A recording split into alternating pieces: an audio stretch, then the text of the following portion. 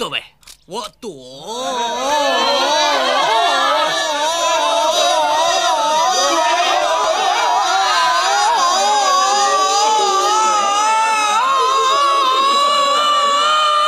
胜！今天很高兴跟各位亲戚还有新闻界朋友见面，谢谢。赌坛神圣侠，这是香港赌片宇宙啊创造出来的三个经典角色。赌神高进赌术天下第一啊，接连打败了新加坡赌魔陈金城和宝岛东湖帮老大裘乔芝，堪称天下无敌。赌侠陈小刀呢，则继承师傅赌神的赌术，在世界各地做善事，还挫败了大老千海山招摇撞骗的阴谋，扬名赌界。至于赌圣周星祖呢，哎，则是依靠自己的特异功能，在江湖上获得了赌圣的名号。后来在机缘巧合之下，阿星帮助赌侠陈小刀一起打败了海山和特异功能高手大军，而后被赌神高进收为入室弟子，传授赌术。但是海山虽然被抓了，特异功能高手大军呢，却回到了内地，一直在谋划复仇。在恢复了功力之后，大军就特地找了四个师弟和一批杀手啊，准备干掉阿星啊。这四个师弟的特异功能是各有千秋啊，有擅长放电的，有擅长放火的，还有专攻幻术和隔空移物的。他们四个人的功力加在一起，已经可以造成时光扭曲，连明朝的魏忠贤都被他们的特异功能传送到了现代。你们是什么人？把我带到这里来，是何居心啊？大军看到四个师弟功力大成，是非常高兴啊，因为这就意味着他们五大高手联合起来，赌圣阿星必死无疑。好，我们决定帮你，一定要杀死赌圣。镜头一转，从美国学有所成的阿星啊，正在接受各大记者的采访。阿星这一次是学成归来啊，三叔就让他赶紧给大家露一手，是吧？打算借用传媒的力量啊，把阿星的名气打响。那还记得我们上一集提到的吗？阿星之所以去拜师啊，是因为特异功能赢回来的钱不能花，所以呢，他才打算学点正宗的赌术赚钱。结果半年下来，阿星赌术没学到多少，架子是越来越大。我在师傅那里学到的呢，就是越是高手讲话，越应该要低调。各位，我。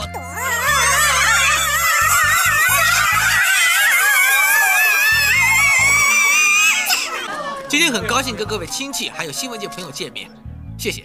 那这还不要紧，阿星转头又说呢，自己跟赌神高进学的不是赌术，而是脚底按摩大法。大家的兴致一下全没了。赌神师傅有妞不泡，有钱不赌，专门传授我脚底按摩大法，造福人群，是多么的伟大，多么的清高啊！我们同学可能会问呐，学了半年啥都没学到，那岂不是要跟我一样继续吃老坛酸菜面了？那倒也不至于啊。阿星的爷爷，也就是三叔的老爸，在香港啊，给他们留下了一栋小别墅，所以说这俩啊，现在不至于过得很惨。吃泡面的时候，不仅可以多加两片火腿肠，没事呢，还能在院子里面 barbecue。而且阿星的爷爷身份很不一般呐，和当年叱咤上海滩的黑社会大哥丁力是故交啊，名叫周大福。很可惜，不是卖珠宝的周大福，是开包子铺的。那想到上海滩呢，阿星也无意间想到了师傅高进曾经提到的法国赌神。听说此人有特异功能啊，当年赢遍上海滩无敌手啊，是赌界的传奇人物。但是后来在一九三七年呢，他输给了一个叫今晚打老虎的人，从此就销声匿迹了。说他唯一一次输给一个很神秘的人物，名叫今晚打老虎，怎么会有这种名字？真的还是假的？不一会儿，阿星在院子里烧烤的时候啊，突然感觉到今天晚上会有什么不可思议的事情发生。果然呐，烧烤烧到一半，五个泳装美女突然出现在俩人面前。哇，三更半夜五个美女送上门，果然是不可思议的事情啊！但实际上呢，这些人全部都是大军派过来的杀手，他们俩看到的美女全是幻觉。得亏龙武及时赶到啊，阿星才幸免于难。啊，是幻觉，快走！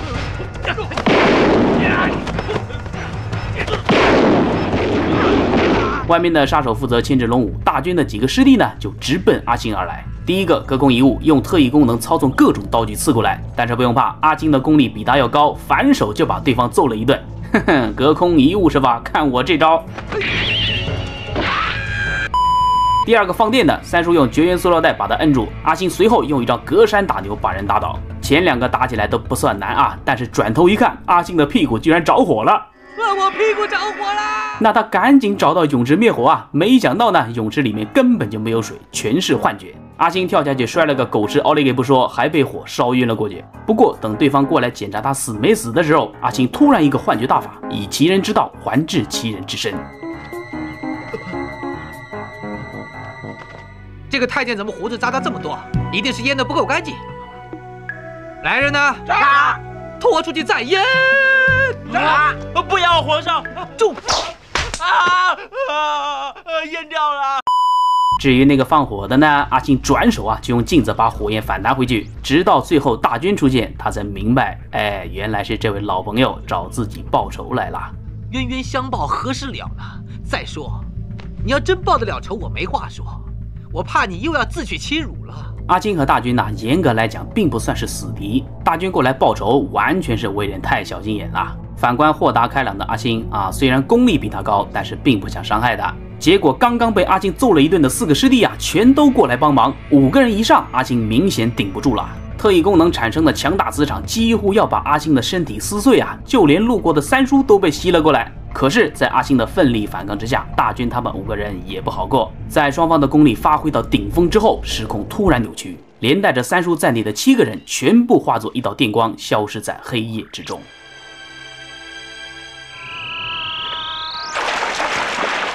等阿星落地啊，不，应该是落水的时候，已经是大中午了。阿星身处荒郊野外，也不知道这是什么地方啊，只看到一个妙龄少女牵着马在瞎溜达。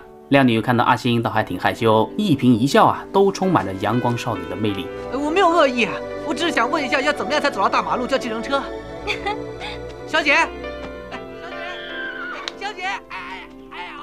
这个时候，龙武又打来电话，在确定阿星安全之后呢，就让他到警察总部汇合啊，准备商量一下对付一批火力强大的匪徒。可是挂了电话之后，阿星却怎么都找不到回去的路。啊，这还不要紧，阿星没走一会儿呢，就看到了三叔在上吊，那他赶紧把人救下来啊。结果这个看起来有点娘娘腔的人，却说自己呀不是他三叔，而是叫周大福。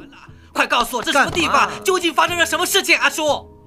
干什么叫我阿叔啊？人家还很年轻啊！我叫周大福。那阿金一脸懵啊，周大福，这不是自己爷爷名字吗？再看路边的牌子，上面竟然写着上海市政局，而且报纸上竟然还刊登了1937年7月上海黑社会大哥许文强被人暗杀的新闻。阿星这才意识到啊，很可能是刚才的特异功能磁场啊，让自己时空穿越了，这才误打误撞的来到了1937年。那不只是阿星懵了，周大福也懵了，自己还没老婆呢，怎么还凭空冒出来个靓仔叫自己爷爷呢？那这还没完，回到市里面呢，阿星本来想找到三叔和大军他们的下落，却不想正好碰到了许文强的小弟在跟另一个黑社会大哥雷老虎的人打架。红衣服，不是穿红衣服的都要打吧？没错，替强哥报仇，砍他！许文强的人穿的是黑衣服，雷老虎穿的是红衣服。那身穿红衣的阿星啊，毫不意外的就被许文强的人追着砍。等他找个地方换件黑衣服的时候，又碰到了雷老虎一伙啊！阿星啊，莫名其妙的又挨了一顿揍。好在阿星身手不错啊，加上一招隔山打牛拳法，用的是出神入化，几个回合下来就把雷老虎送上了西天。哇，隔了九个，这下你还不死？打！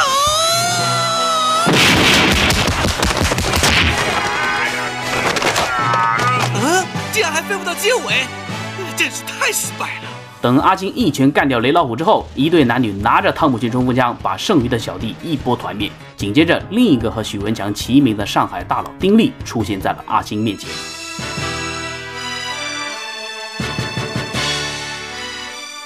丁先生，雷老虎死了。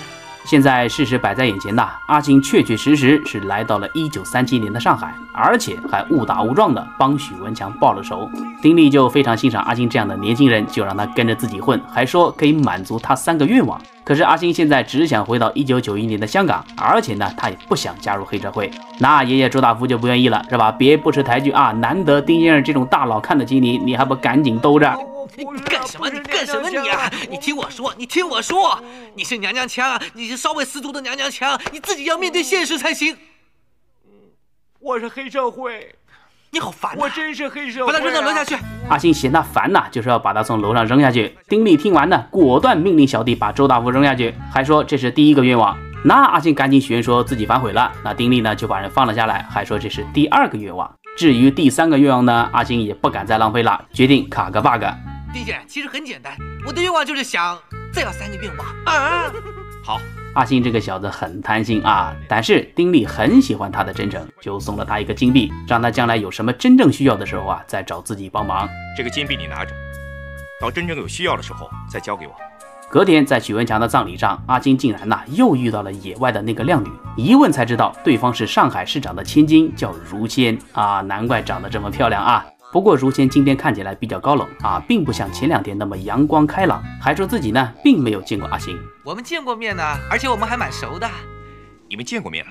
周先生，我想您认错人了吧？不一会儿，一个叫黄金贵的人来到了现场。此人长得是一脸奸相啊，看着就不像是好人。果然呢，黄金贵来的目的就是劝丁力投靠日本的川岛芳子，帮日本人卖命。结果毫不意外，被丁力当场拒绝。你回去替我告诉日本人，我丁力什么都敢做，就是不敢做汉奸。哎，你不要敬酒不吃吃罚酒啊！你不要敬酒不吃吃罚酒啊！你有种，我们走。你有种，我们走。他想说什么，你全都知道啊。演坏蛋的对白有模式的，我们那个年代每部戏都这么说的。阿金的这段话算是对那个年代影视剧的吐槽了啊。可是黄金贵刚走，许文强的坟墓就被炸了个粉碎，连带着在场的所有人呐都被波及。紧接着，一批提前埋伏好的杀手啊就冲出来要干掉丁力，就连丁力的贴身保镖长毛都被人乱枪打死。那如仙眼看丁力危在旦夕啊，赶紧求阿星出手救人。听完呢，阿星立刻发功啊，让在场的所有人都看不到丁力。没人看见他，没人看见他，没人看见他。趁此机会啊，丁力抄起汤姆逊，把在场的所有杀手都干掉了。但是阿星呢，却因为发功过度晕了过去。等阿星醒来之后，他最关心的并不是能不能回到一九九一年啊，也不是丁力的安全，而是如仙去哪儿了。那明眼人都看得出来，阿星是喜欢上如仙了嘛，是吧？作为跟我一样的单身狗，面对这么漂亮的女孩子，很难不动心啊。下流。那我们同学可能会纳闷啊，阿星在上一部的赌侠不是有一个梦罗了吗？再往前还有一个启梦呢。哎，可悲的是，阿星喜欢这俩人，但他们都不喜欢阿星。启梦是因为任务才接近阿星的，而梦罗呢，是为了请阿星帮忙还债才接近的。所以阿星混到最后，身边一个女孩子都没有。那为什么会这样呢？那很简单，阿星跟我一样都没钱呐，要不然他也不用整天吃泡面，是吧？这个社会呢是很现实的，我们的男同学一定要好好赚钱啊。那现在阿星穿越到了一九三七年，好不容易啊又碰到一个喜欢的女孩子，阿星当然得想办法把她追到手了。就算阿星不断制造跟如仙相遇的机会，如仙都对他爱答不理，还说他很挫，以至于阿星整天借酒消愁啊，每天都昏昏沉沉的。过了一段时间，丁力新开了一家赌场，社会各界知名人士啊都来参观，当然也包括上次袭击丁力的黄金贵。而这一次，黄金贵的主子，也就是臭名昭著的川岛芳子，也来到了现场。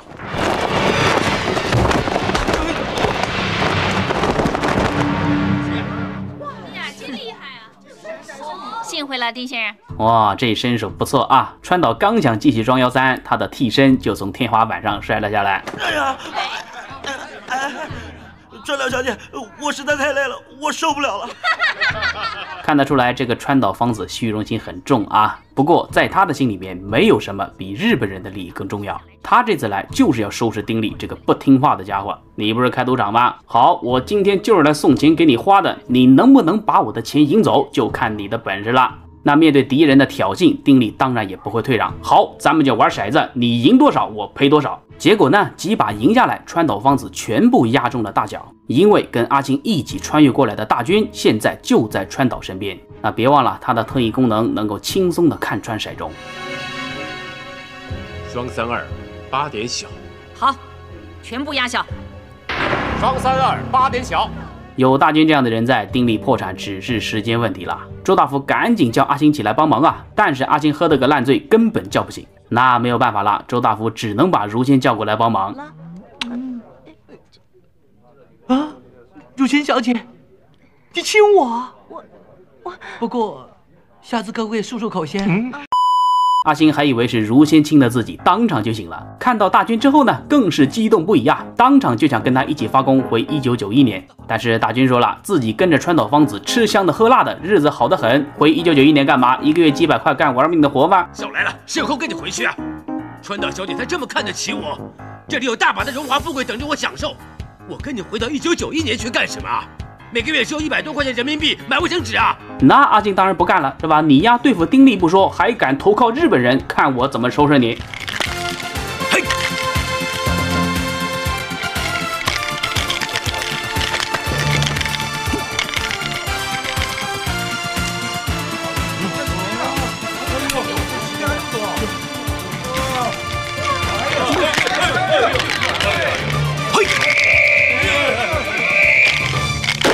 一一把漂亮的摇骰啊，让阿星赢得了全场的目光。大军发功一看呢，有两个骰子竟然叠加在了一起，被盖住的那一面有可能是一点，也有可能是六点，也就是说这把大小都有可能。是小，干脆告诉你吧，气死人了，真是。阿金看他磨磨唧唧，就是不压住，干脆就说啊，这把是小，你放心压。那大军肯定不敢信他了，是吧？就让川岛芳子压大，结果一三四八点小。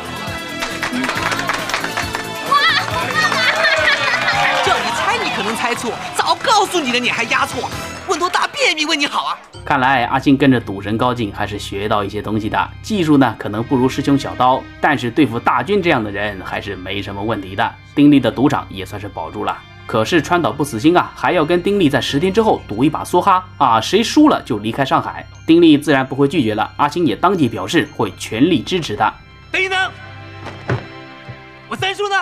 哼到时候你就会知道了。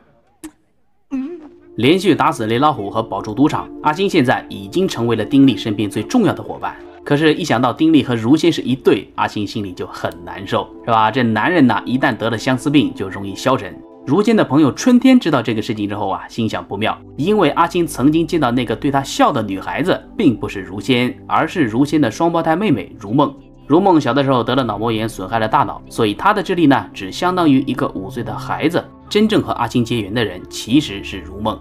但是眼下帮阿星重新振作才是头等大事啊！春天就偷偷的把如梦带出来和阿星一起去玩，果然把阿星的相思病给治好了。那这还没完，为了防止阿星发现如梦的智力问题，春天还骗阿星说如梦天生爱笑啊，大学读的是法语专业，只喜欢说法语。为此还帮阿星起了一个法国名字。首先呢，你要先取个外国名字啊！你帮我取一个啊啊啊！刚被打雷虎，哎，今晚打老虎。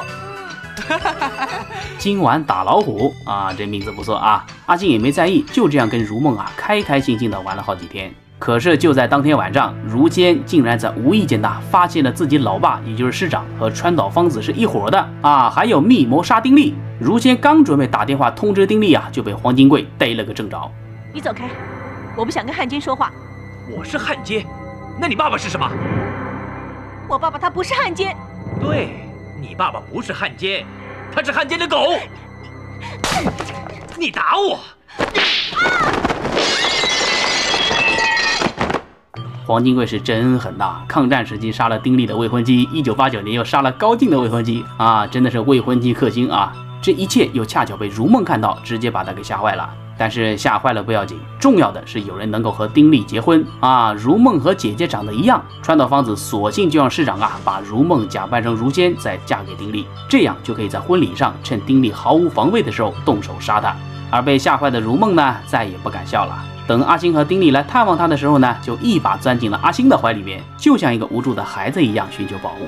这就让丁力很尴尬了，是吧？自己的未婚妻跑到别的男人怀里，这哪像话呀？直接丢下阿星一个人走了，转头还让市长通知阿星说晚上啊跟他在某个夜总会见面，说有要事相商。结果到了晚上，丁力并没有出现，黄金贵和市长却拦住了准备离开的阿星。不是丁先生约你，是黄先生约你。原来你也是汉奸，要不看你能不能，我就打你一顿。是啊，你不打是吗？我打。啊！来，走狗走狗，走到最后一无所有啊！黄金贵杀了没有利用价值的市长，转头呢又派出了日本第一高手山本丧波啊，两招就把阿青打晕了过去。是谁？他就是川岛小姐手下第一高手。等阿青醒来的时候，才发现三叔也被川岛芳子抓了起来，同时被抓的还有如梦和春天。而川岛芳子的目的就是为了威胁阿星，帮自己杀丁力。阿星，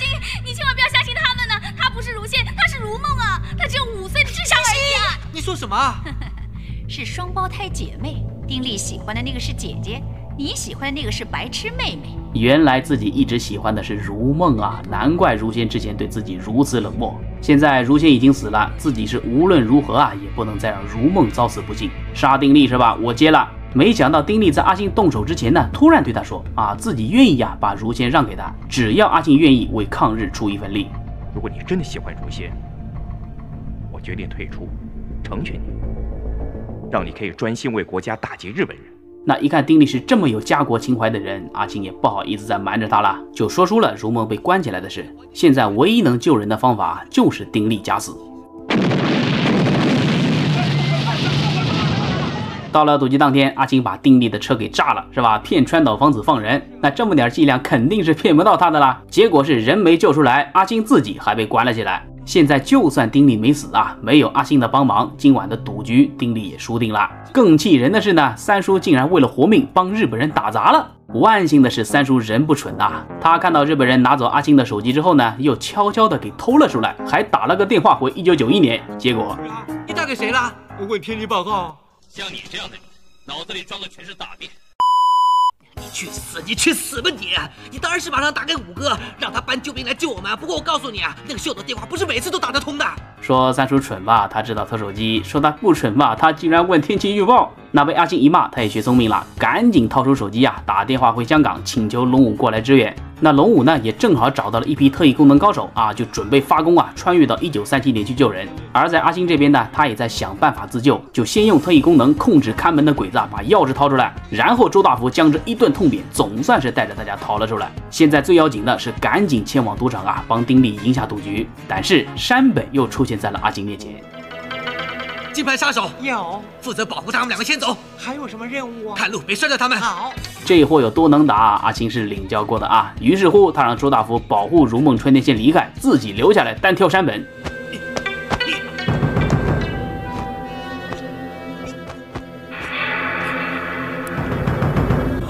要不说鬼子都是死脑筋，是吧？阿金趁他热身的时候直接跑了，转头还趁山本不注意的时候抡了他一棍子。但是山本毕竟是高手啊，真打起来阿金还真有点吃不消。就算是阿金有特异功能控制他啊，自己打自己也没多大用。你这些旁门左道控制不了我的。对啊，但是没关系，阿星当场掏出电话打给香港警局，请求在线指导。哎，你别说，在线教学还真有用啊！阿星勉强呢能跟山本打了几个回合，最后一招夺命剪刀脚啊，更是直接把山本给打服了。香港警队果然牛逼啊！但是解决山本是根本不够的，外面还有一大堆鬼子呢。阿星的特异功能就是再厉害，恐怕也挡不住这么多子弹呐。那就在这千钧一发的关键时刻呢，龙武带着香港飞虎队杀到。一起立！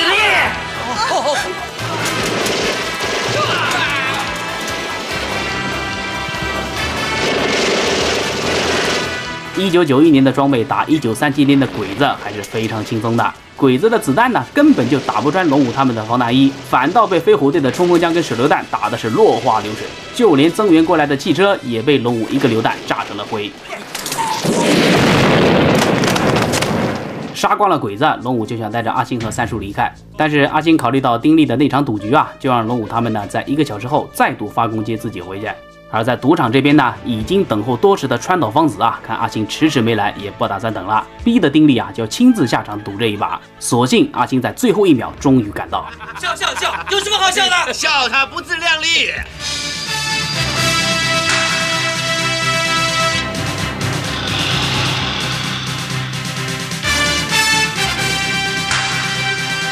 就算阿星来了，大军也根本不担心，是吧？这一次非得在赌桌上赢他一回。不过川岛芳子根本就不打算派大军出战，因为他已经请来了一位神秘高手。我不跟他赌，谁跟他赌啊？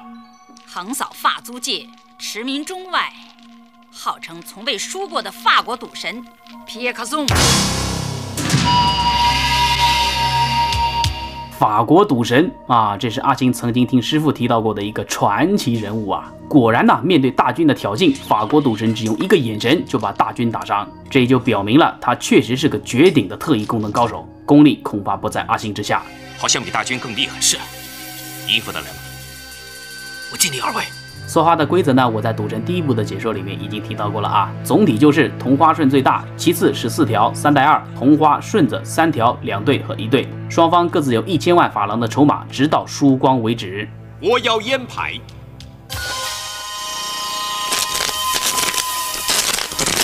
那法国赌神就非常嚣张啊，不仅一招就击败了大军呐，还在验牌的时候呢，好好的秀了一波特异功能。可惜他面对的是顽皮的上海滩赌圣阿星呢，同样展示了自己的特异功能，但是炫技结束，双方开始赌局。第一回合，阿星拿到了黑桃尖，法国赌神拿到了红桃尖，阿星的牌面略大。那不用说了，梭哈，法国赌神是吗？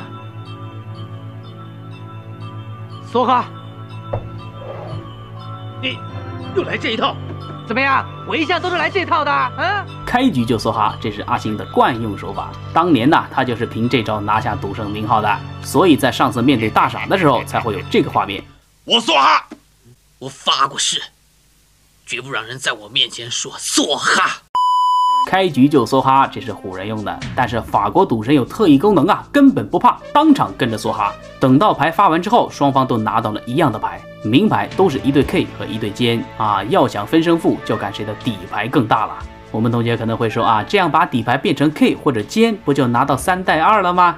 不行，因为一副牌只有四张 K 和四张尖，已经全部发完了，再变 K 或者尖出来，就是明摆着告诉别人自己出尖。所以现在黑桃皮蛋才是最大的。可是阿星和法国赌神各自发功变牌的时候，全都变不出正版皮蛋。阿星变出来的要不是王金版，要不就是张曼玉版。法国赌神呢，索性连盗版皮蛋都变不出来。直到最后一阵地图山摇，两个人全部停止变牌。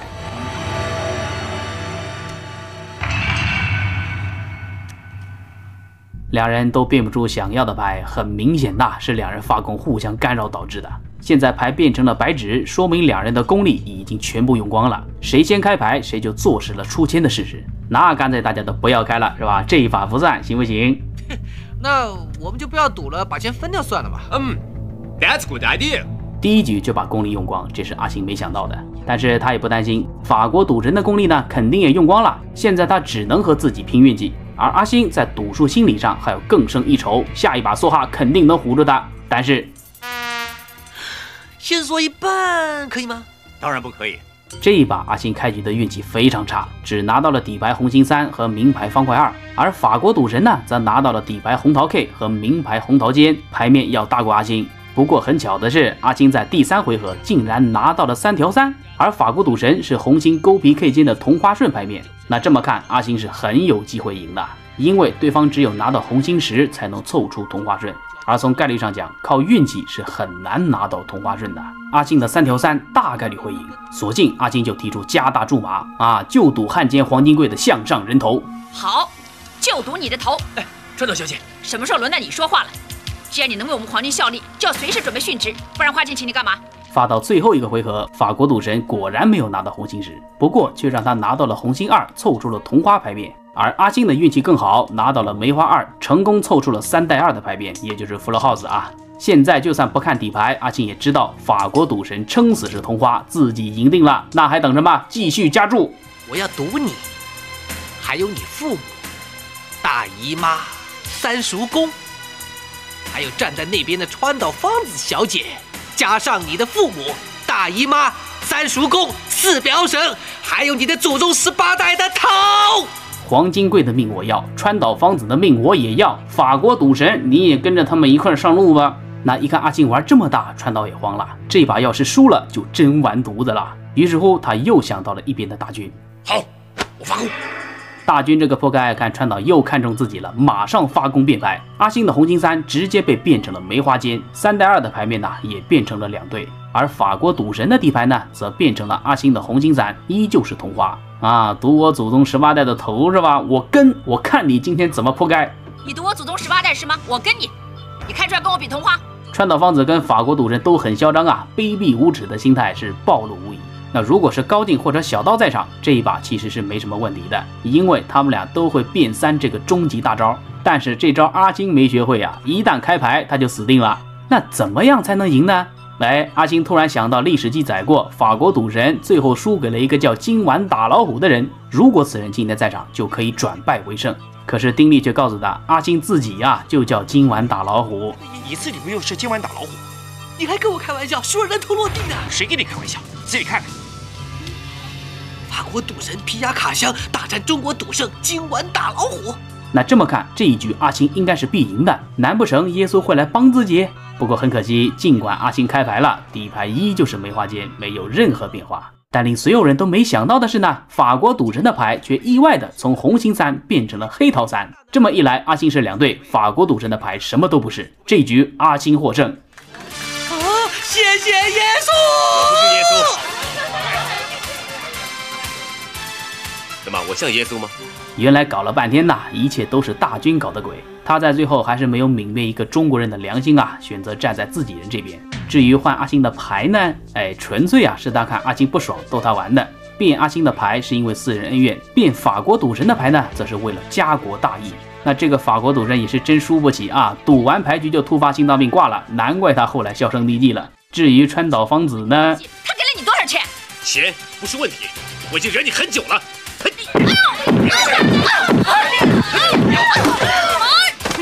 想想最近的可可基里网红狼是吧？What's wrong with being a dog？当狗虽然吃得好，但是要对着游客摇尾巴。而对于男人来讲啊，吃的差点没关系，活得有尊严才是王道。至于黄金贵这个狗汉奸，下场自然很惨了。丁力飞起一枪将之击毙，最终为如今报了仇。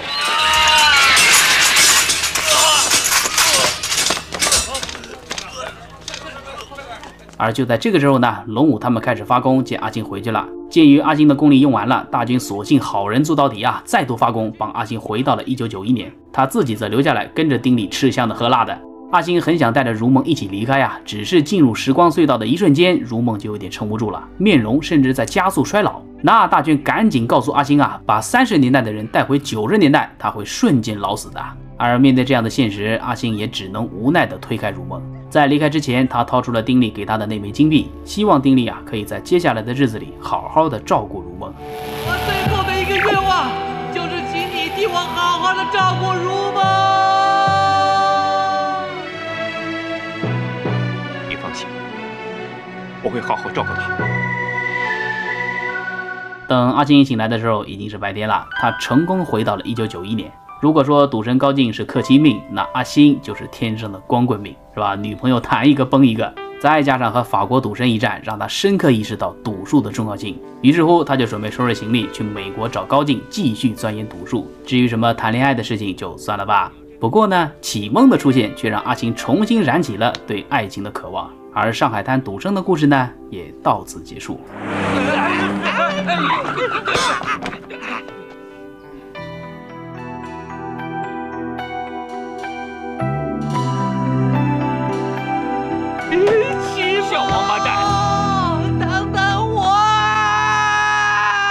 在电影界啊，有这么一句话，叫“一年一影帝，百年周星驰”。这并不是什么电影委员会或者什么电影大奖给星爷的评价啊，而是出自于广大影迷之口。如果要评选华语影坛上最伟大的喜剧演员呐，周星驰就是当之无愧的第一。你可以说他人缘不好，也可以说他之前呢还有很多的喜剧前辈，但是你绝对不能怀疑星爷的才华，更不能质疑啊他为华语影坛做出的巨大贡献。毫不夸张的讲，星爷所取得的喜剧成就，无论是过去还是可预见的未来，可能啊都不会有人超越了。可当我们翻开星爷的成长历程时，会发现他并不是一开始就做了主角的。从他1980年入行到1990年出演《赌圣》开始走红，周星驰用了十年时间呐，才坐稳了主角的位子。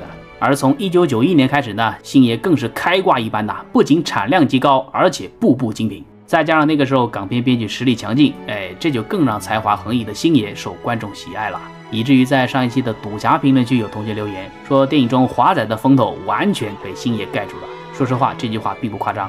而这部《上海滩赌圣》呢，很明显就是为了星爷量身打造的。这在当年取得了三千多万的票房啊，还是非常不错的。不过一个小小的瑕疵呢，就是电影中关于赌的元素就明显没有赌神和赌侠那么多了，喜剧和爱情元素啊占了大头。所幸呢，这两点都完成的很好，观众看完呢，一般也不会计较赌戏不精彩。王晶很巧妙的把穿越和赌片相结合啊，还加入了抗日和上海滩元素，可以说全片的故事内容是相当丰富的。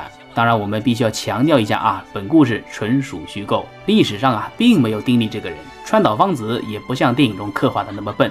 至于电影中加入龙武穿越到上海打日本鬼子的剧情，哎，就更是艺术创作了啊！王晶和星爷就很喜欢在电影里面吐槽日本人，再准确一点讲，是星爷很喜欢吐槽老外。比如中古专家的这段情节，你们小日本鬼子这么好色，多罚两亿。我没有好色，不好色怎么拍那么多？不是我拍的。你没有拍过，你总看过吧？啊是是是。上海滩赌圣的另一个特别之处啊，就是他拍摄了两个版本。我们现在经常看到的那一版呢，是巩俐担当女主角；还有一版呢，是当年台湾特供的啊，是由歌手方季惟饰演的女主角。网上很多人分析说，是因为当年台湾电影市场啊禁止上映有内地演员担当主演的影片。这个消息是不是真的，我也不确定啊，不能给大家一个准确答复，大家见谅啊。总之啊，参演的星爷是肯定要累一点的，同一段戏要和两位女演员分开拍。而且我个人认为方季韦版最不好的一点呢，哎，就是剪去了如仙骂黄金贵汉奸的台词，估计也是为了不得罪当时的台湾地区领导人吧。我在上一期提到过，赌侠之后，陈小刀的故事就结束了。这部《上海滩赌圣》之后呢，周星祖的故事也正式结束。整个赌神宇宙的神圣侠三人组就剩下赌神高进的故事还没有讲完。在赌神第二部的一九九四年，高进打败裘小之之后，时间突然回到了一九八六年。那时候年轻的高进还没有成为赌神。下一期我们《赌神三：少年赌神》再见。九钟啦。我唔低你一定输。